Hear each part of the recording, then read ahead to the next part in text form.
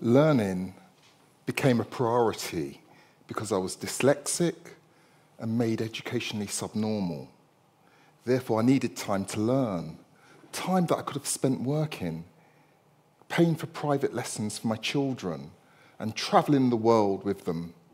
If only I hadn't been a product of an evil kind of racism, very similar to slavery, where enslaved Africans remain at the very bottom of society and weren't allowed to read.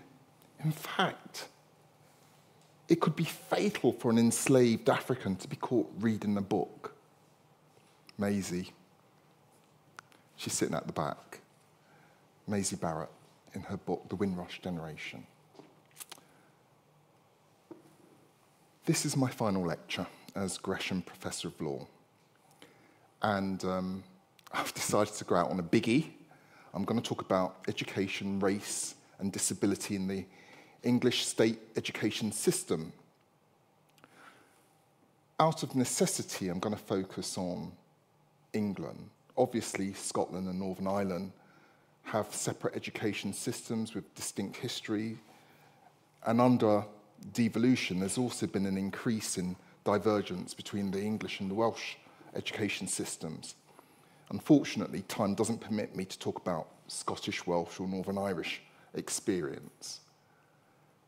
In fact, it's going to be a, a bit of a rush, so hang on to your hats as I try to get through um, this lecture. There's a lot.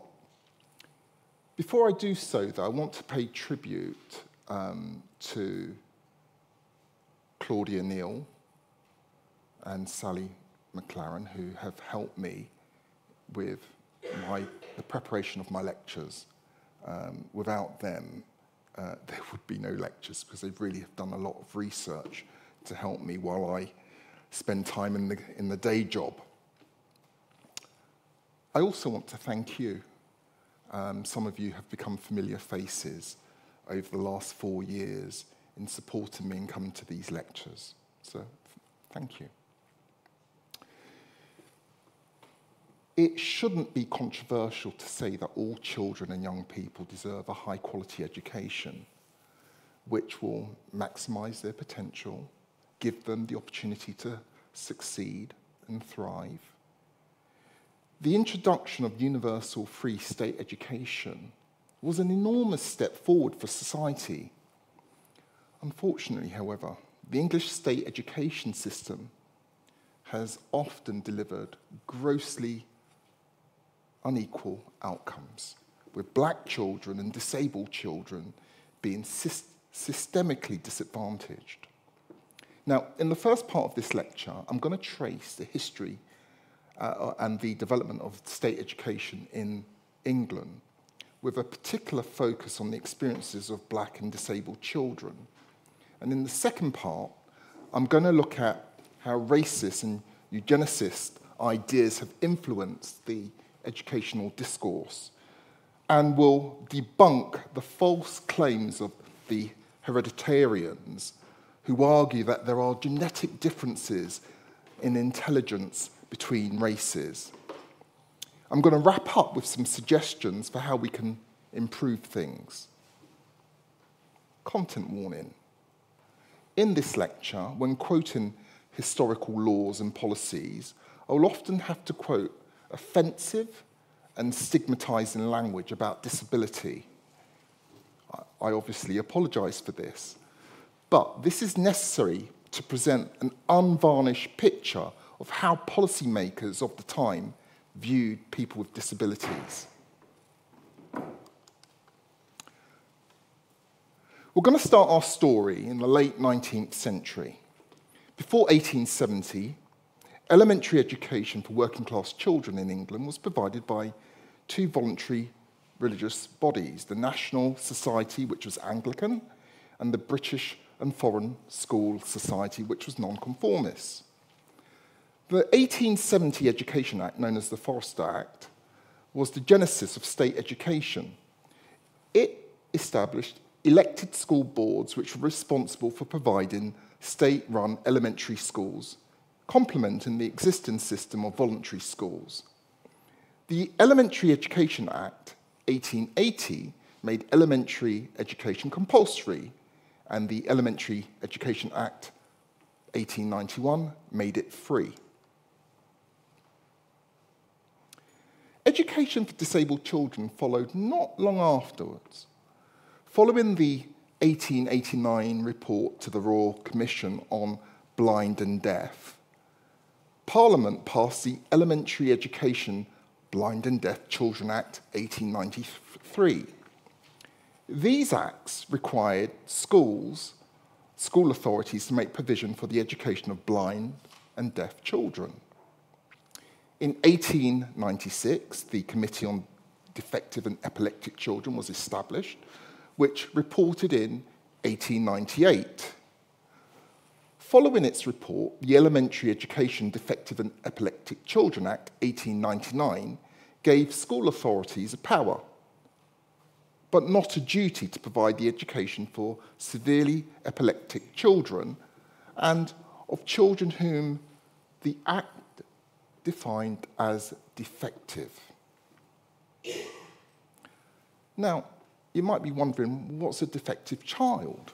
Well, that was defined as a child who, by reason of mental or physical defect, was incapable of receiving proper benefit from the instruction in ordinary public elementary schools, but was not incapable of receiving benefit from instruction in special classes or schools.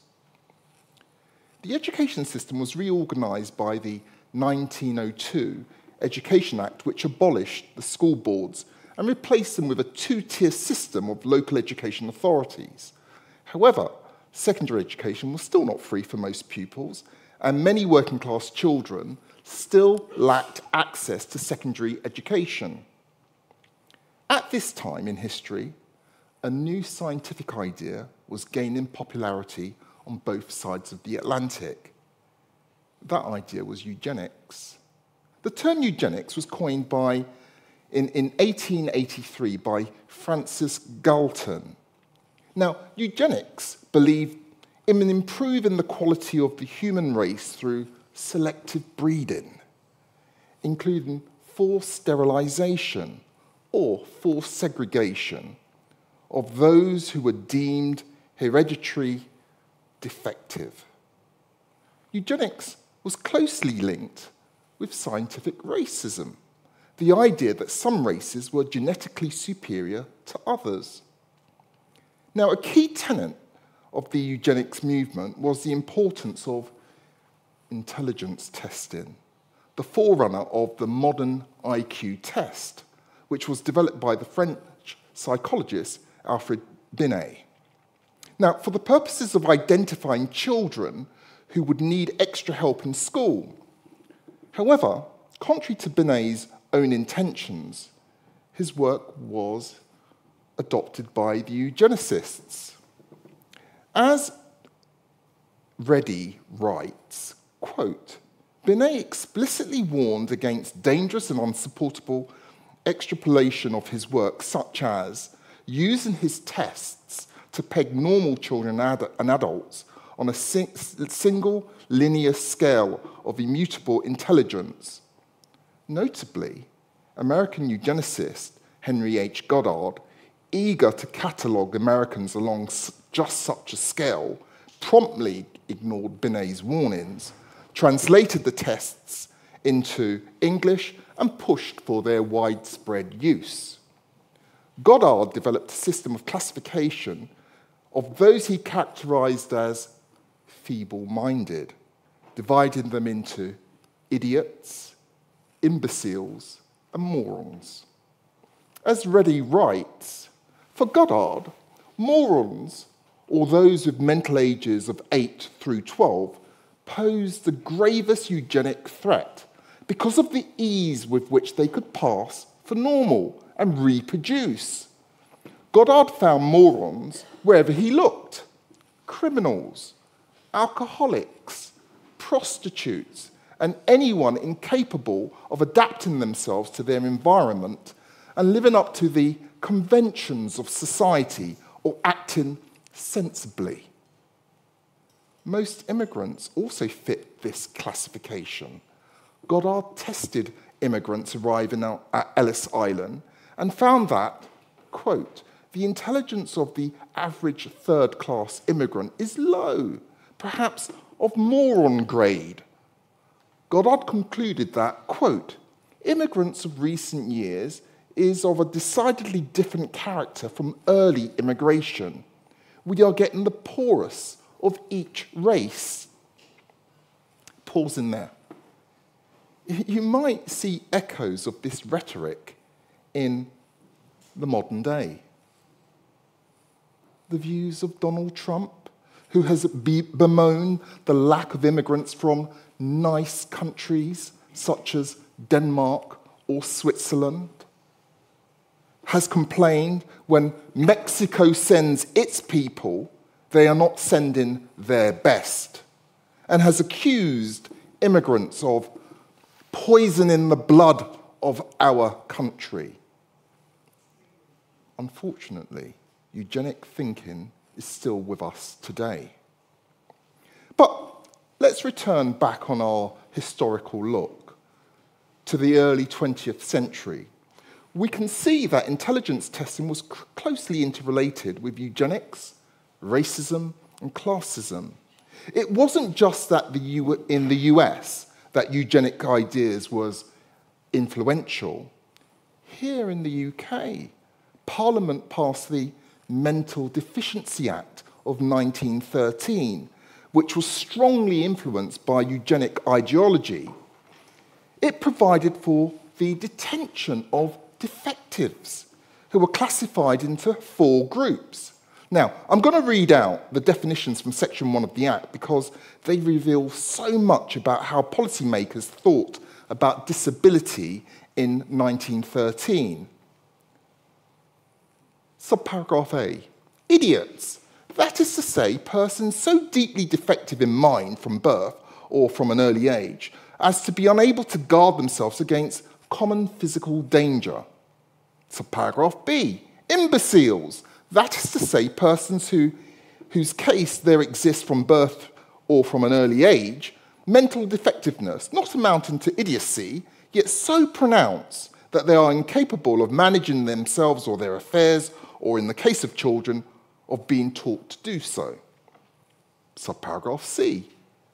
Feeble minded persons, that is to say, persons in whose case there exists from birth or from an early age mental defectiveness not amounting to imbecility, but yet so pronounced that they require care, supervision, and control for their own protection or for the protection of others, or in the case of children, that they are, by reason of such defectiveness, appear to be permanently incapable of receiving proper benefit from the instruction in ordinary schools. Subparagraph D. Moral imbeciles that is to say, persons who from an early age display some permanent mental defect coupled with strong vicious or criminal propensities on which punishment has little or no deterrent effect. Local education authorities were required to ascertain which children in their area were defective children and were incapable by reason of mental defect of receiving benefit or further benefit from instruction in special schools or classes. We can see, therefore, that children with mental and intellectual disabilities were labelled defective, stigmatised with terms like idiot, imbecile, or feeble minded, which were written into law as statutory classifications they were divided into two broad categories those who were deemed able to benefit from special educational provision, and those who were not. The former could be educated by local education authorities, and the Elementary Education and Defective Epileptic Act of 1914 converted the power to educate them into a duty.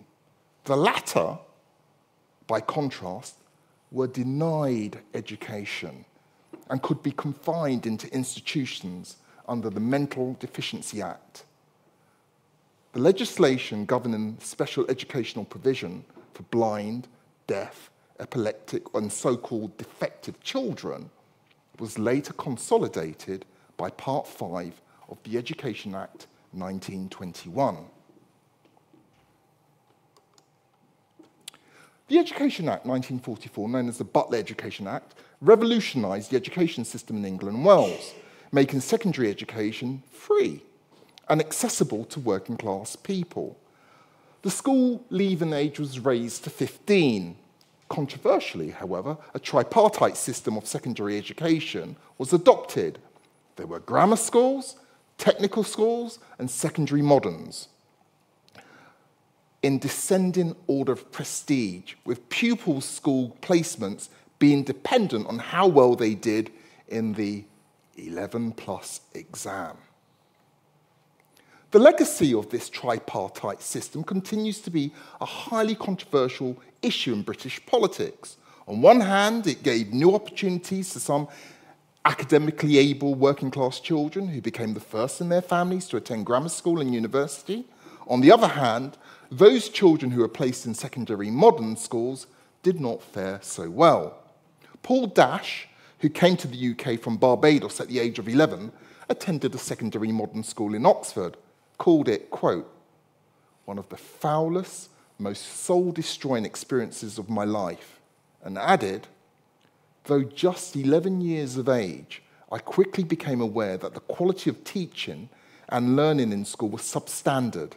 The curriculum, teachers' expectations, and quality of teaching was simply awful. It was often pointed out at the time that the selective education system incorporated a class bias. As Derek Gillard writes in, 19, in the 1950s, quote, it was becoming clear that intelligent quotient, quotients could be affected by coaching and were related to previous social and educational experience.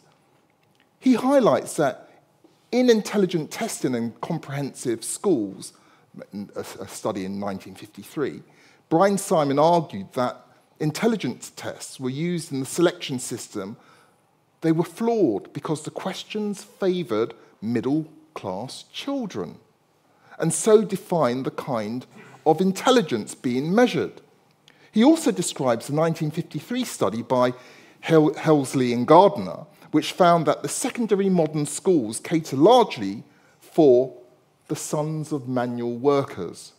Very few middle class children found themselves in secondary modern schools. A boy has a greater chance of entering a grammar school if he comes from a middle class rather than a working class home. End of quote. In the 1960s, there was a movement towards comprehensive education in which children would attend the same secondary schools, comprehensives, regardless of academic ability. Under the Labour Education, Educational Secretary, uh, Anthony Crosland, Circular 1065 was issued in July 1965, requiring local education authorities to submit plans to reorganise their education systems along comprehensive lines. When the Conservatives came to power in 1970, they replaced this with the Circular 10 uh, stroke 70, which allowed local authorities to decide, to decide their own policy. However, according to Anne West, comprehensive education was almost universal by the uh, 1980s. Today, there are still some grammar schools in England, but most children attend comprehensive schools. What about disabled children? In performing their general duty to provide sufficient schools, local education authorities were required by Section 8, subsection 2, uh, little c, of the 1944 Act to have regard to, quote, the need for securing that provision is made for pupils who suffer from any disability of mind or body by providing either in special schools or otherwise special educational treatment. That is to say, education by special methods appropriate for persons suffering from that disability. The Handicapped Pupils and Schools Health Services Regulation 1945 defined various groups of pupils who were deemed to require special educational treatment.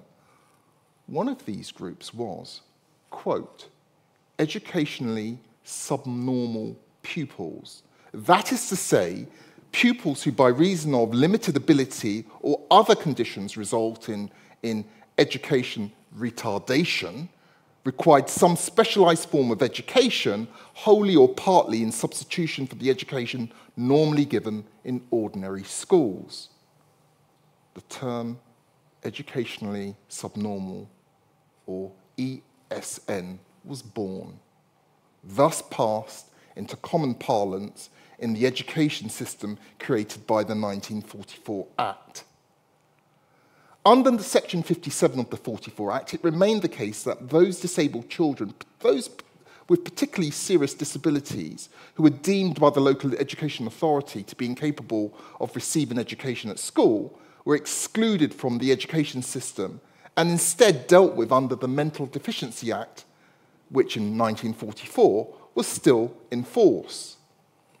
The Mental Deficiency Act was later repealed and replaced by the Mental Health Act 1959 but it remained the case that supposedly ineducable children could be excluded from state education.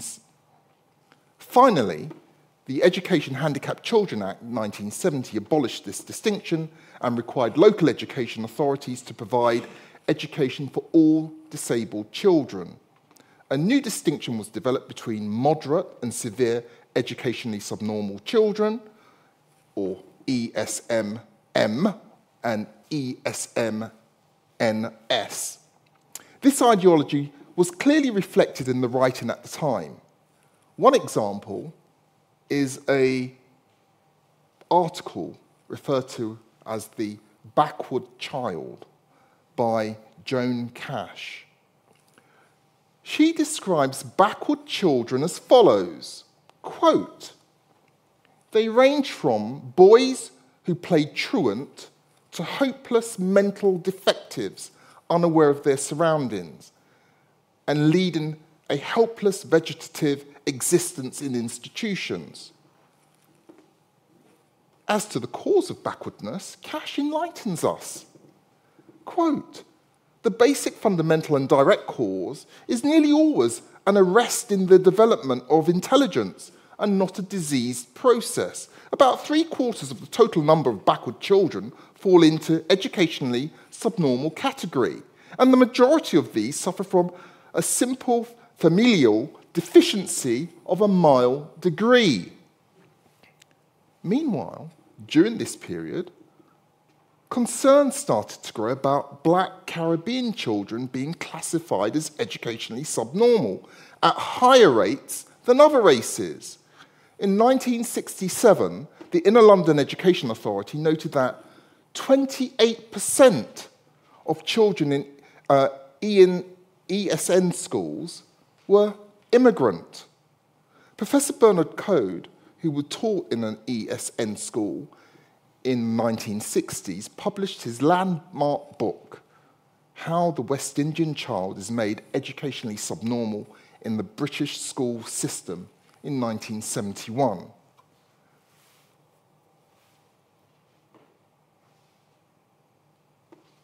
And the question has to be asked how do you find and seek out these children?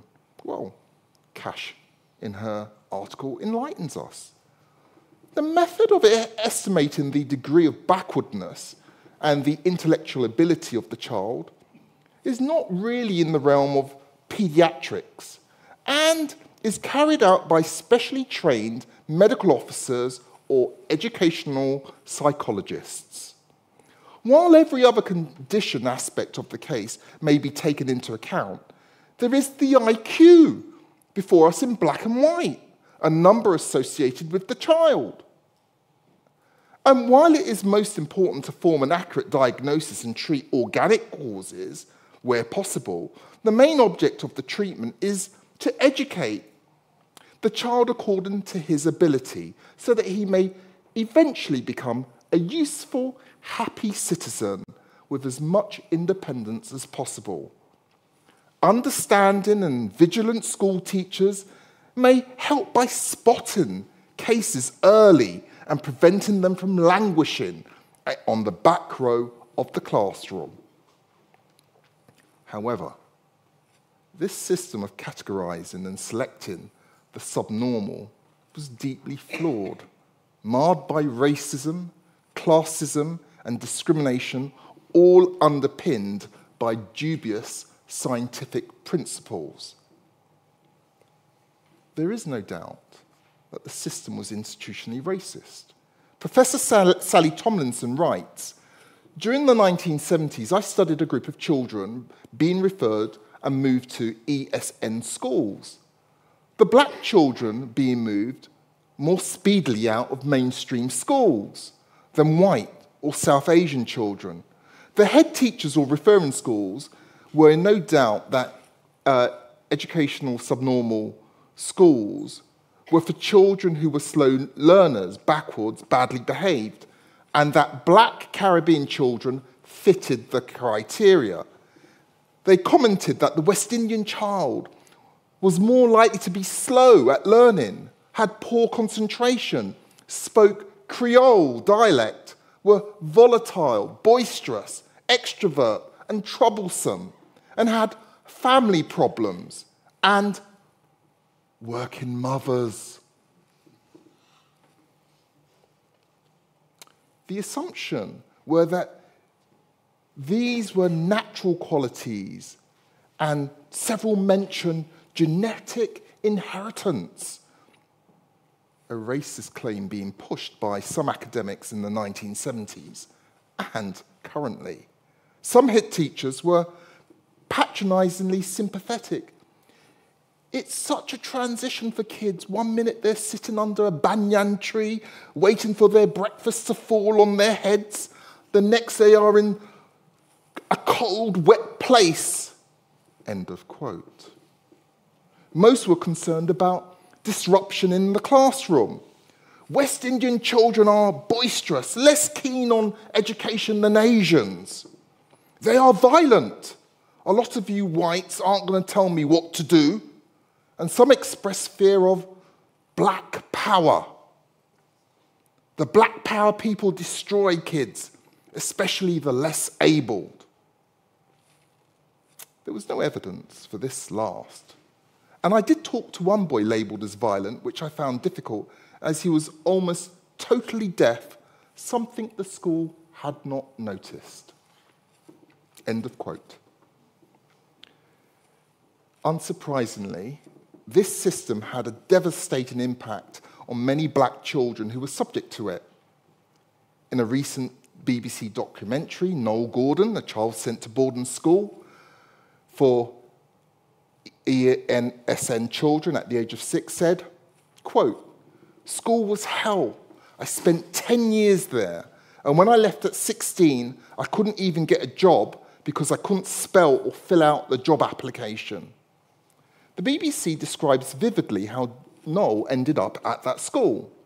Quote, about a year before joining the ESN school, Noel had been admitted to hospital to have a tooth removed.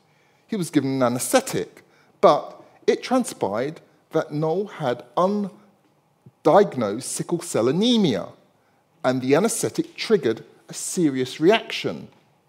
Noel says that as a result of his health issues, this led him to being perceived as having learning disabilities and being recommended for a special school. Yet, no evidence or explanation of his disability was ever given to him or his parents. As Professor Gus John said, that label made children feel inferior. Students from ESN schools wouldn't go to college or university. If they were lucky, they would become a labourer. The term was paralyzing and killed any sense of self confidence and ambition. Educational psychologist uh, Waveney um, um, Bushell, quoted in the documentary, highlighted the cultural bias in IQ tests at the time. The Ventour Griffiths, sorry, Trey uh, Ventour Griffiths summarizes the point. Quote, for example, one question asked what the word tap meant in the UK. In the UK, the word means an instrument that releases running water or gas from a pipe. Yet, in the Caribbean, a tap is known or meant to many on the islands as a pipe. Black children understood what the tap meant in concept, but not the terminology. Yet they were made to feel inferior when many questions were asked of them that reflected specific Englishness, which they had no frame of reference for. Gus John highlighted the relevance of the language. He said a key element was language. If you grew up in a Jamaican household, you would use Jamaican English patois or Creole. The problem most Caribbean students had was because it was a derivative of standard English. Nobody believed that black children needed language support. Let me be clear on why the system of categorizing and selecting the subnormal was deeply flawed, highlighting the various aspects of racism, classism, and discriminatory inherent in its uh, impl- uh, imp- uh, implement, uh, implementation. Racism. The disproportionate representation of black Caribbean children in the category of educationally subnormal points to systemic racism within the education system. Because this classification overlooked cultural differences, language barriers, unfairly labeling these children as inferior based on their ethnicity rather than assessing their true potential. Classist. Children from lower socioeconomic backgrounds were often unfairly targeted by this system socioeconomic status heavily influence access to quality education, resources, and opportunities for enrichment. Consequently, children from disadvantaged backgrounds were more likely to be labelled subnormal due to systemic barriers they faced. Discriminatory practices. The criteria used for identifying subnormal children were often discriminatory and subjective. Standardized testing, such as IQ assessments, were culturally biased and failed to account for diverse learning styles and abilities. Furthermore, the decision making process was often influenced by preconceived notions and stereotypes about race, class, and ethnicity. Dubious scientific principles. The reliance on IQ scores as a primary determinant of a child's ability was flawed, oversimplified. Intelligence is complex, multifaceted. It cannot be accurately captured in a single numeric value. Moreover, the belief that intelligence is fixed and immutable disregards the potential for growth and development in every child. I shall return to this later what were the long term consequences? Labeling children as subnormal has had profound and detrimental effects on their educational trajectories and life opportunities. It perpetuates low expectations, limited aspirations, contributing to a self fulfilling prophecy where children internalize the belief that they are incapable of academic success. If a child is sent to a special school for children who cannot learn. How is this going to help a child to learn? Instead of teaching us to read and write, we were taught to wash ourselves. I was taught to wash children who had severe education learning difficulties. The teacher sat with us at a dinner table to teach us how to eat with a knife and fork and spoon. When I left school, I could eat like the Queen of England but I couldn't read or write or talk like her. Maisie Barrett. The Warnock Report.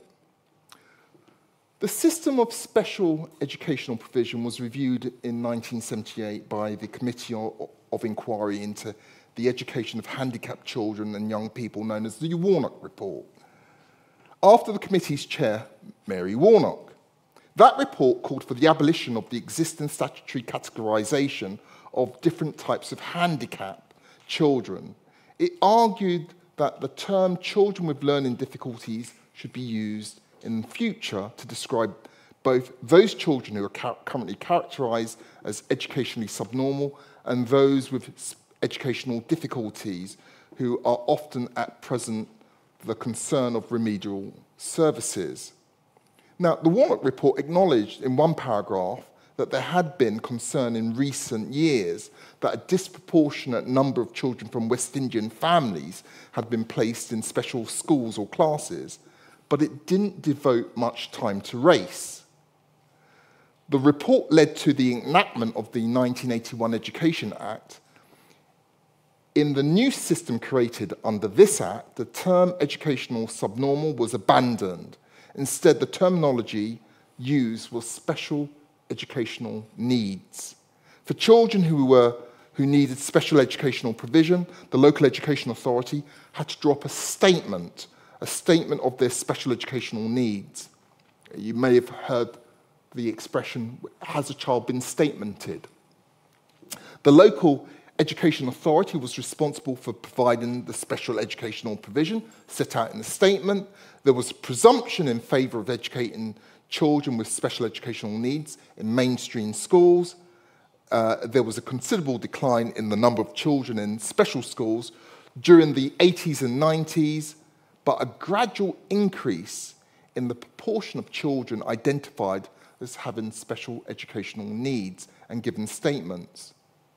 The 1981 Act was later consolidated in the Education Act of 1996. Meanwhile, the education system in England has gone through several more phases of reform. There was the Education Reform Act of 1988 that delegated management powers from local authorities uh, to individual schools and introduce the concept of the national curriculum. More recently, there's been a march towards privatisation of state education in England. The new Labour government introduced academies, state funded private schools that were independent of the local um, authorities' control. After the change of government in 2010, Michael Gove, the Education Secretary at the time, pushed through the controversial Academies Act, which, as Gillard explains, quote, removed local authorities' powers to veto a school becoming an academy, dispensed with parents and teachers' legal right to oppose such plans, and allowed outstanding schools to fast track the process of becoming academies. Gove also introduced free schools, another type of state funded private school that was independent of local authority control. As of January 2023, more than 80% of secondary schools in England are academies or free schools, as are more than 40% of primary schools. The academisation is extremely controversial. As the National Education Union states, academisation is driving down staff pay, terms and conditions, alienating communities, and has caused the fragmentation of the education system.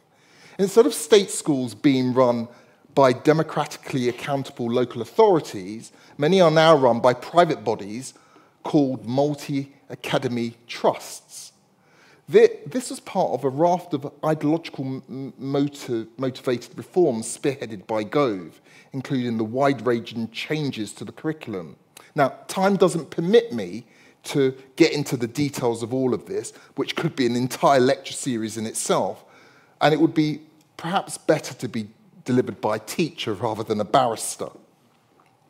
The special system of uh, the system of special educational provision was comprehensively reformed by the Children and Families Act 2014, which replaced, replaced statements of special education needs with education, health, and care plans.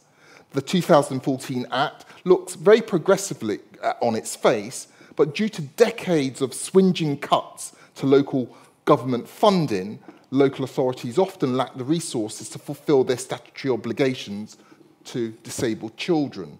Many disabled children are denied adequate education and care, and this has led to a proliferation of litigation by parents against local authorities, and in some cases, the High Court has had to make mandatory orders requiring a local authority to perform its legal duties. The sustained overrepresentation of black children in the public test system and black people subject to compulsory admission to psychiatric units, uh, some statistics, black men make up 12% of the UK prison population, yet they are less than 1% of the population as a whole. Uh, that's Home Office statistic in 2000. This pattern of overrepresentation is not evident in the data reporting on permanent exclusion of black boys from school. Yet the Times Educational Supplement reported in 1998 that black boys were 15 times more likely to be excluded from school. Meanwhile, racial inequality in education continues to persist, although the picture is somewhat complicated. In particular, black Caribbean children and Roma children are more likely than any other group to be excluded from school. A September 20, 2006 pri um, priority review by the Department of Education and Skills highlighted large disparity in the rates of school exclusion. The average for all uh, uh for all pupils was five, just over five percent, but for Black Caribbean pupils, it was nearly ten percent. For Irish traveller children, it was eleven and for Roma children, it was nearly 12%. Interestingly, the, the rate was much lower for black African pupils at only 4.43%. 15 years later, an analysis by The Guardian in March 2021 found that in some parts of England, the exclusion rate for black Caribbean pupils was five times higher than their white peers. Again, similar trends are seen in, in respect of Roma, children, Roma children. In Sheffield, the exclusion rate for Roma children was nine times higher than for white pupils, while in Haringey and Bristol, Roman Roma children were 10 times more likely to be excluded. Schools are also racialized in, uh, in, in, places in, in terms of their deeply held beliefs and expectations an integral part of the school process and practices.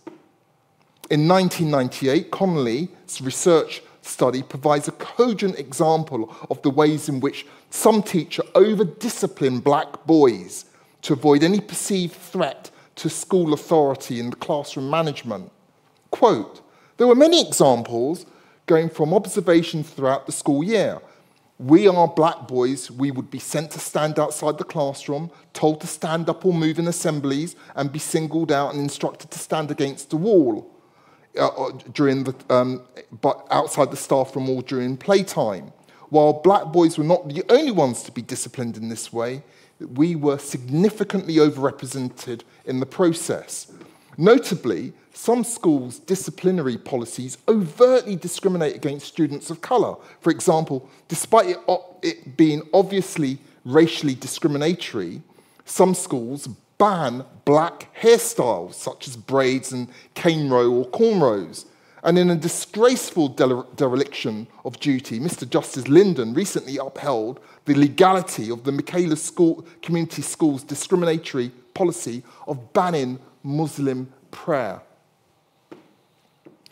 Children with special educational needs are also significantly more likely than not than non-disabled children to face exclusion.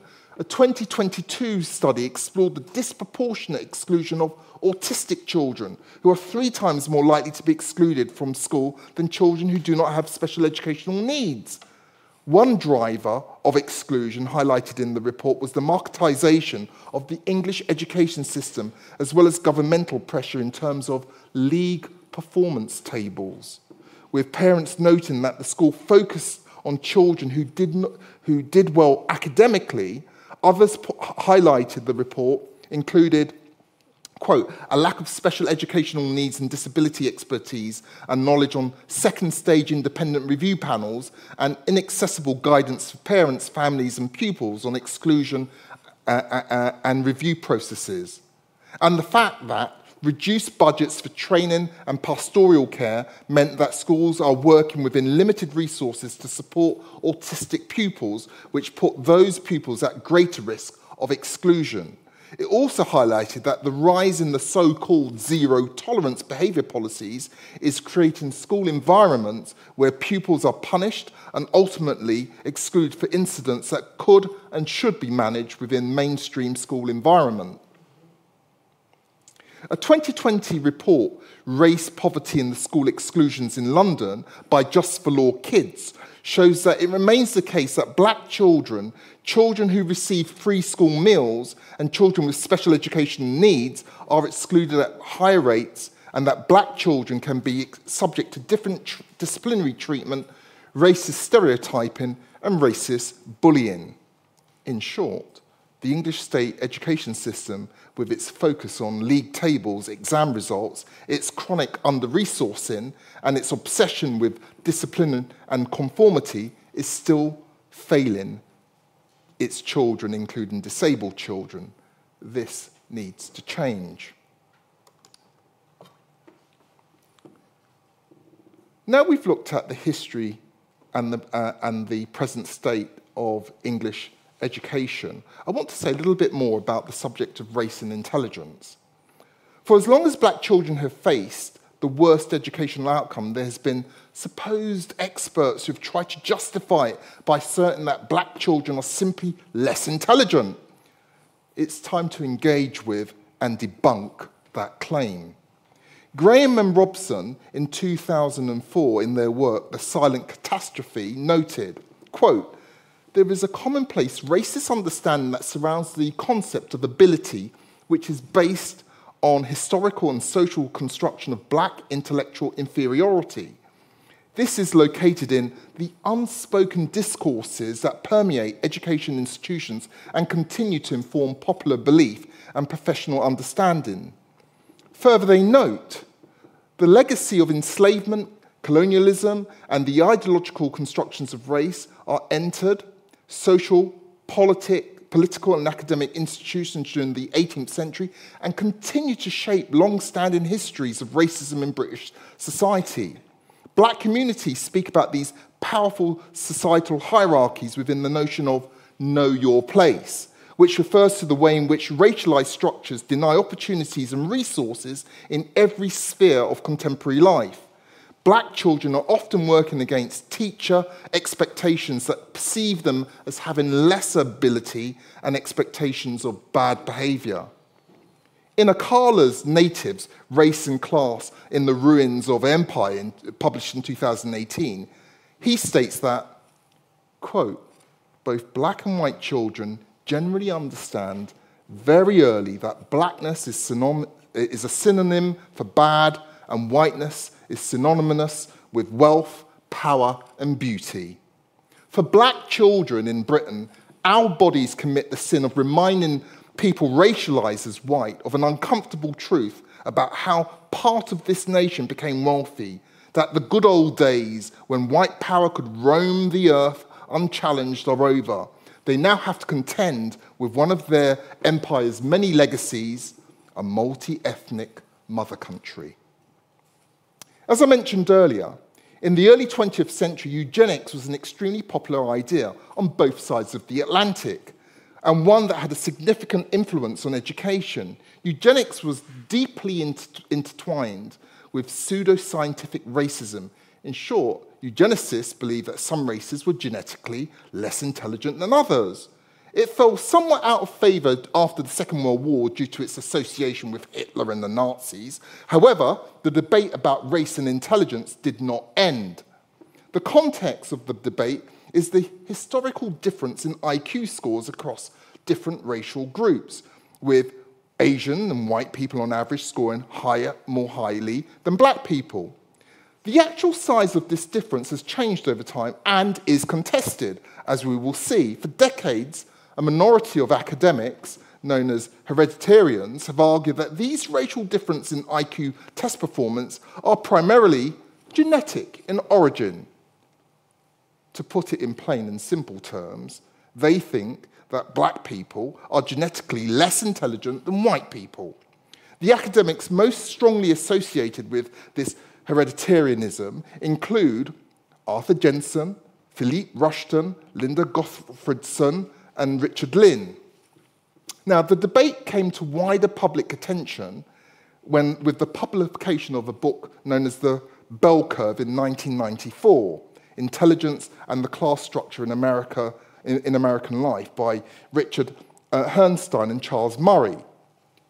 The basic theory of the bell curve was that IQ tests accurately measure, measured general intelligence and that general intelligence is a stronger predictor of success in life than parental socioeconomic status.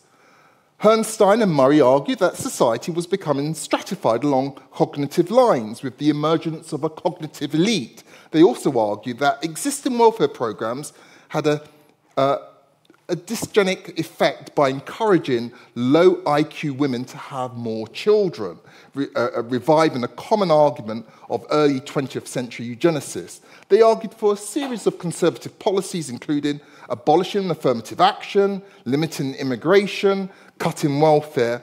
And one of the most controversial aspects of the book was the author's claim that there are differences in the intelligence between racial groups, drawn heavily on the work of Richard Lynn.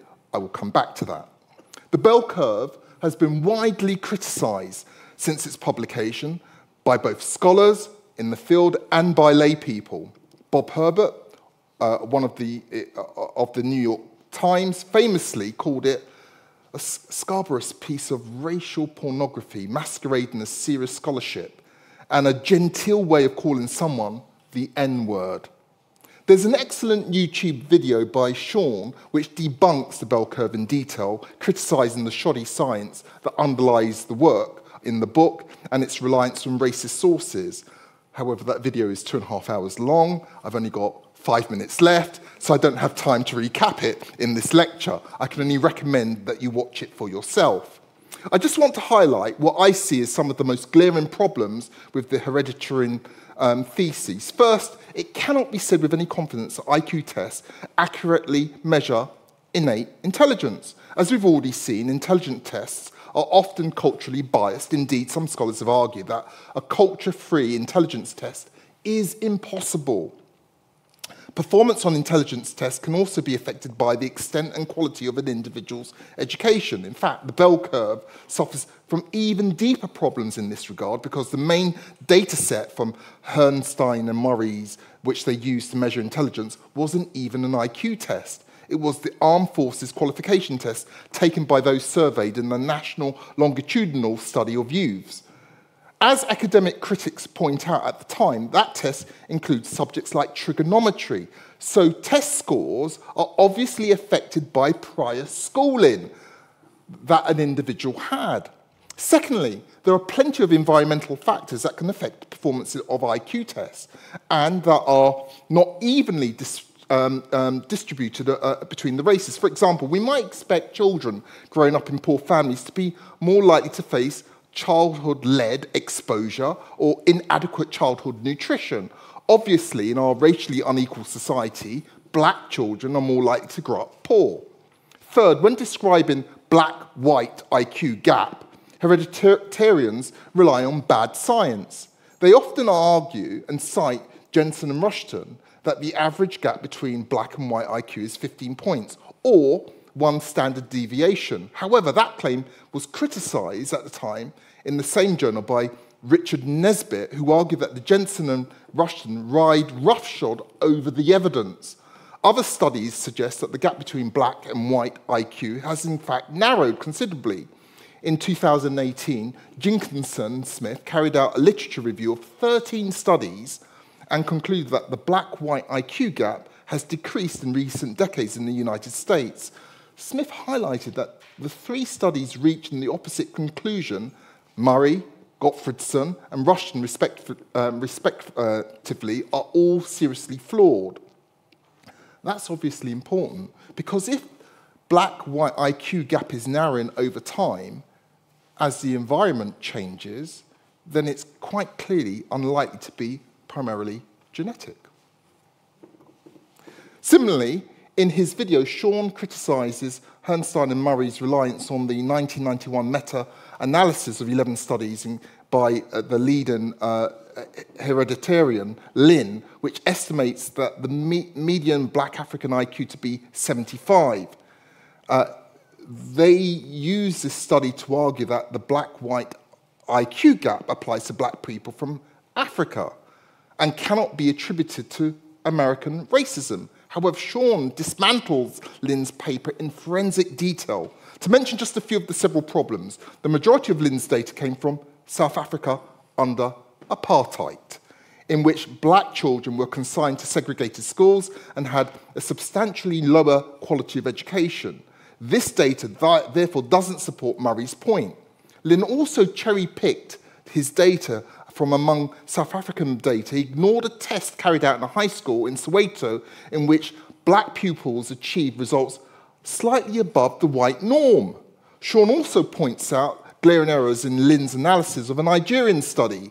Shaun points out that the study administered the Raven progressive matrix test and did not report on an IQ score, but Lynn asserts that it had a reported score of 86, which Shaun notes to be a typographical error, as there were 86 test subjects in the study.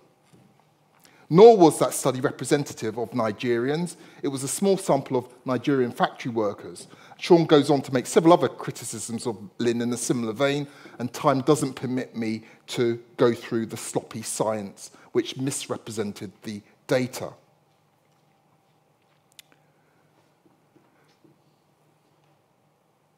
I'm going to leave that there, and I just want to move on if I can.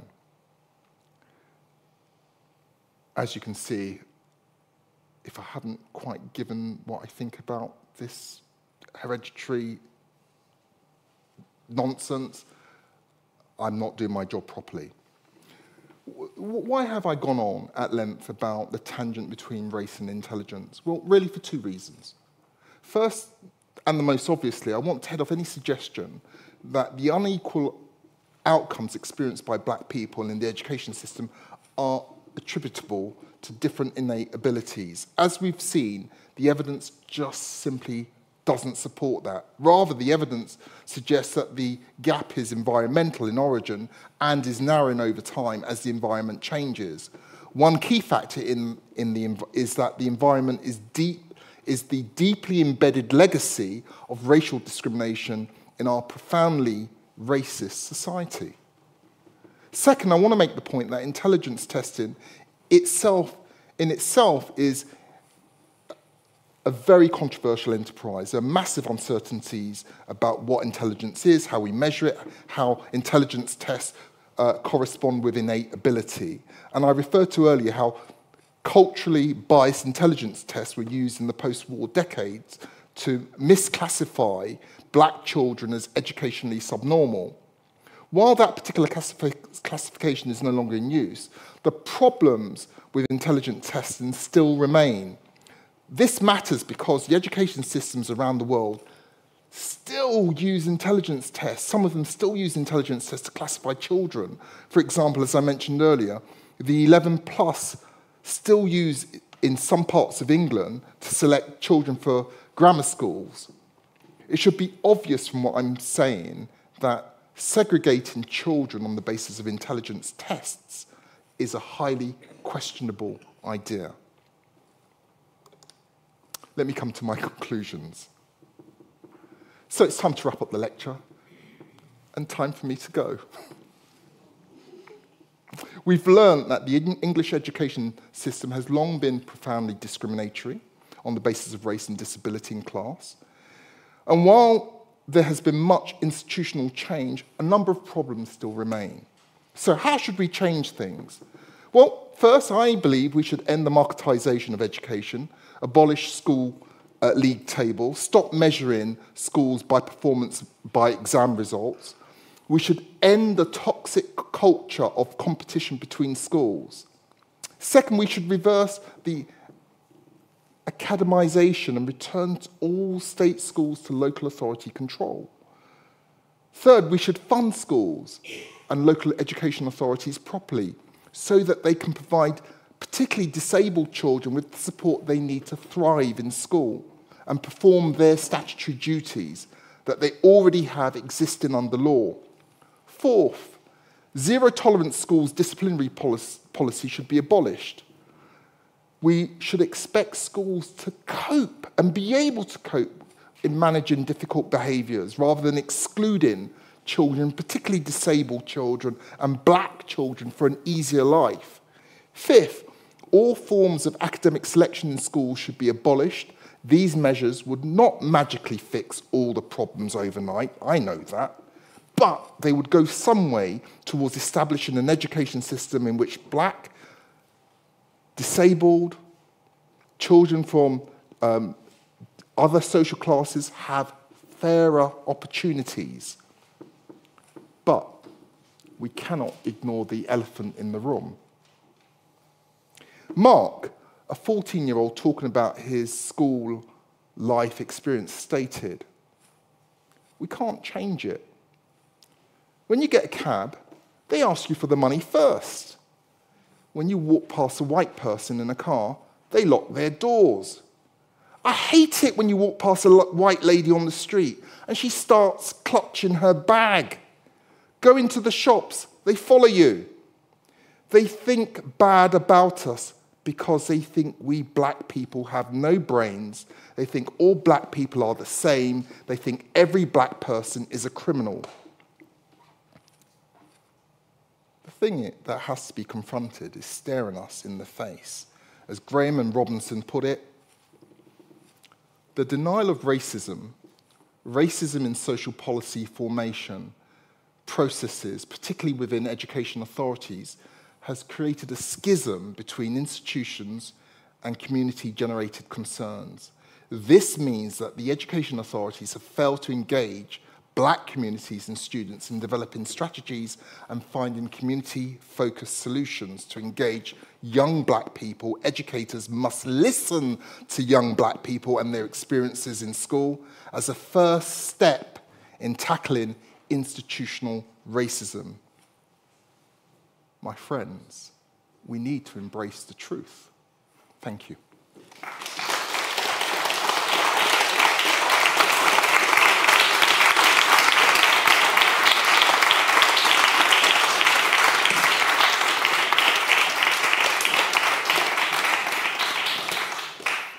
As ever, a compelling and passionate argument. I mean, it is. Is there anywhere in this country that you've come across that's doing it well, that has reversed this awful legacy that you've described? Uh, I'm not saying that there aren't pockets where things aren't being done well, and I'm not an educator, um, confession. But what I do know as a lawyer, and I know many of my colleagues, the problem, particularly the problem relating to the unjustifiable, the disproportionate levels of exclusion, particularly of young black boys, is still happening today. The problem remains. So I focus on the problem and trying to fix the problem than the successes. I'm going to there's a question from the floor in the front. Can we have the microphone? Somebody there with the mic? I hope so. Can you have the microphone at the front, please? Just here. Thank you very much indeed. Sorry. Uh, a question as an educator to yourself. Um, what would you like us to do differently? Um, I don't mean what, the existence of academies. We had no say in that. That's above our pay grade. Uh, when it comes to what is within our pay grade, uh, actually teaching in university, college, and schools, how would you like us to do things differently in regards to disabled and ethnic minority pupils? Thank you. I think it's got to start with recognizing that there's a problem. Um, and th- this is a theme that I've come back to that's run through several of my lectures you can't fix a problem unless there's a recognition that there's a problem. And particularly when it comes to the over disciplining of black children, I don't think that the problem has been properly embraced. Because when you look at the statistics, um, you know, I was speaking to one child who was recounting to me what the child wasn't making out that they were an angel, but they were saying, what I do is being done by my white peers, But the first people to be picked on, to be sent out of the class, is always the black child. Now, you know, it's been some time since I've been in school, but that's a common experience that was in school when I was in school. And I'm sure if I was to uh, ask within this audience whether that experience still exists, I'm sure that I would receive uh, an indication that it still exists. So when you ask what should educators do, educators starting in the classroom, there has to be an acknowledgement. Eh, I'll give you an example.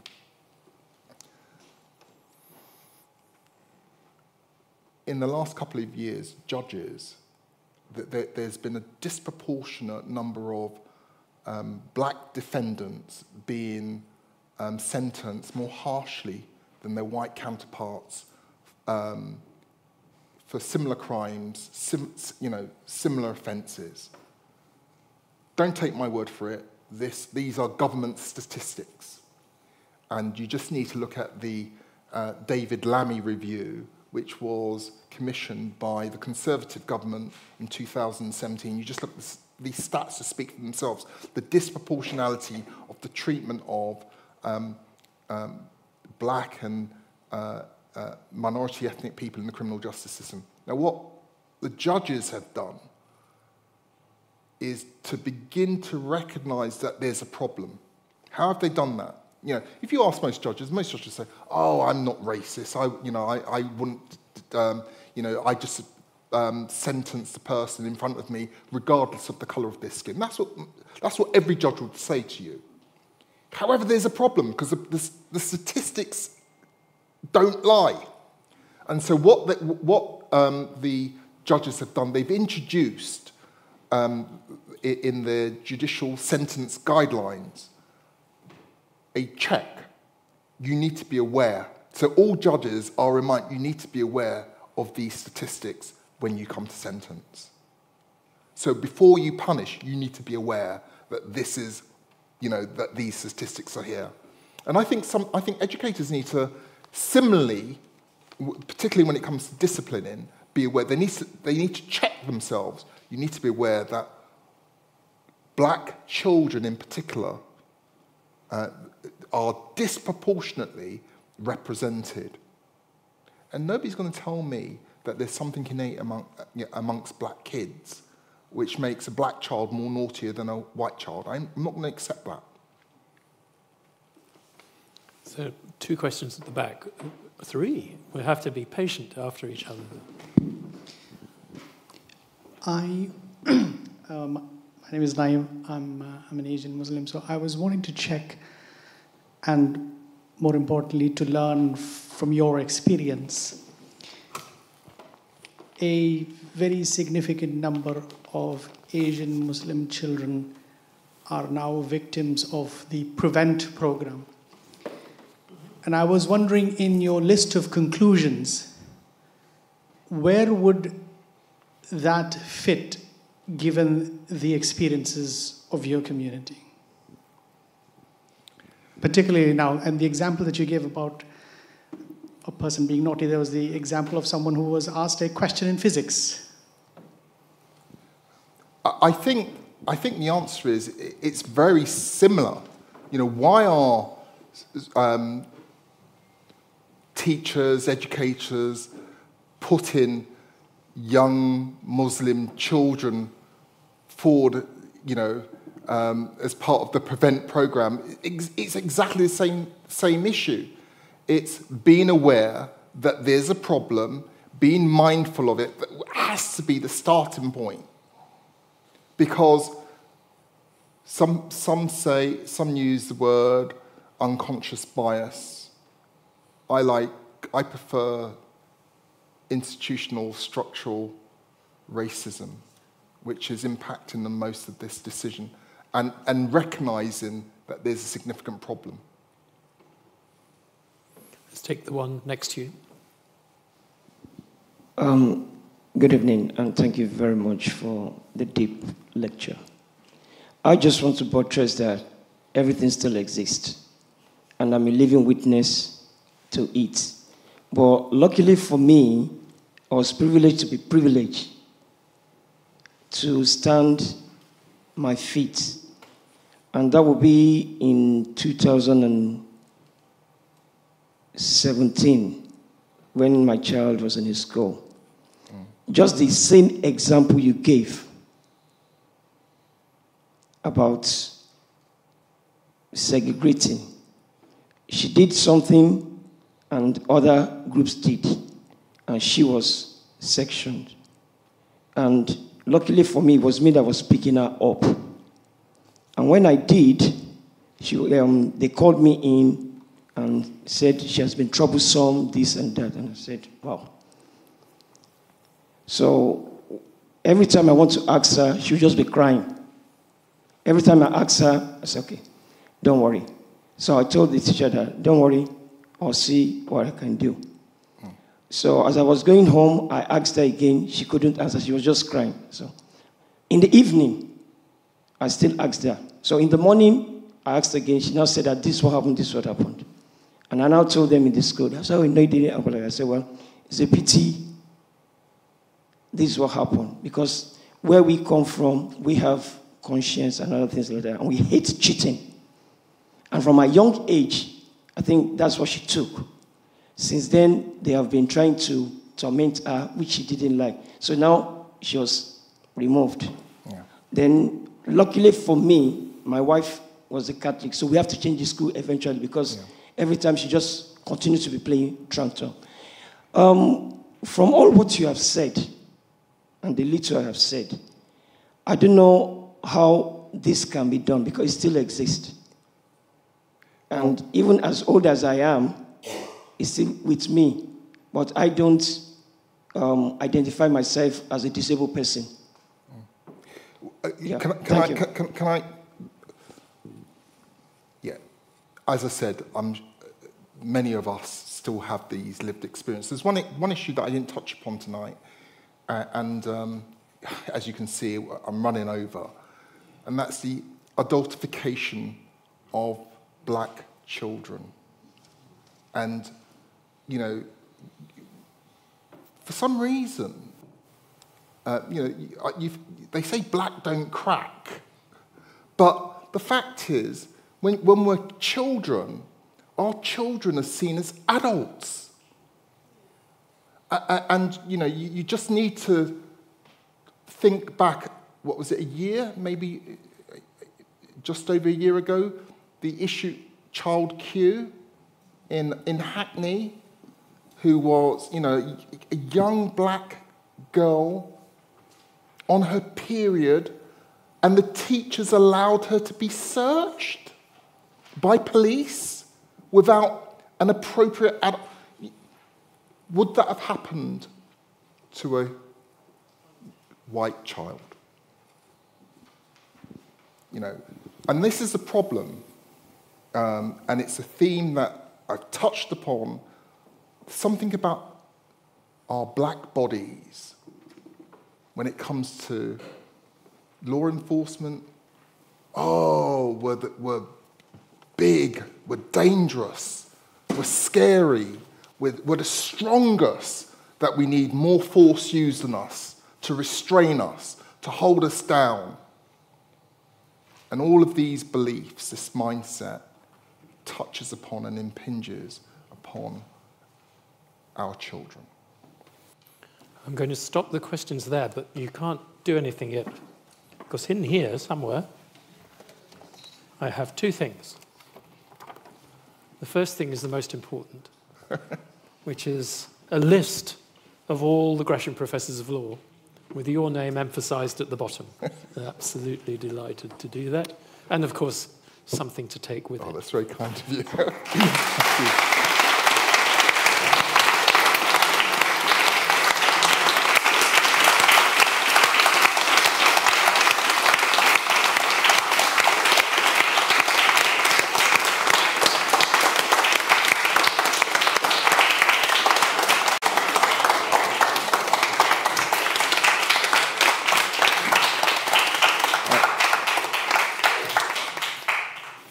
firstly, firstly, an apology for going 20 minutes over.